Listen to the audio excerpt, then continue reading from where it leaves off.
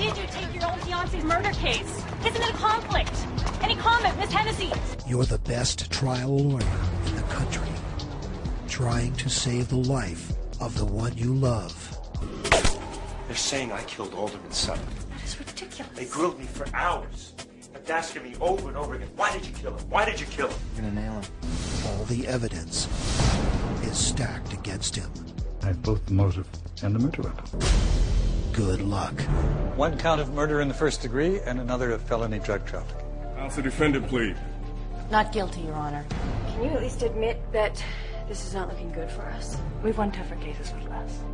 Is there anyone out there with an obvious grudge against you? Jack Rourke. He tried to take me over and I wouldn't budge. Just as a man is arrogant and wealthy doesn't make him a killer. He has more to gain than anyone with Robert being out of the way. I like a blunt woman. If you're gonna accuse me of murder, you better have your ducks in a row. I have the blackmail letters she gave to Sutton. And that's just the beginning. Found someone who's going to finger Gennaro for the drugs. They paid him off. His wife has cancer. She's been getting cutting edge cancer treatment. You know what? His insurance doesn't cover it. I need to check a few records on the QT. I will be in and out before you know it. Gennaro's missing gun report. Why was it deleted? Well, maybe it was misfiled. This is really starting to look like a conspiracy. Are you accusing the state's attorney of criminal activity? He set Sutton up to be murdered and then tried to pin it on Robert.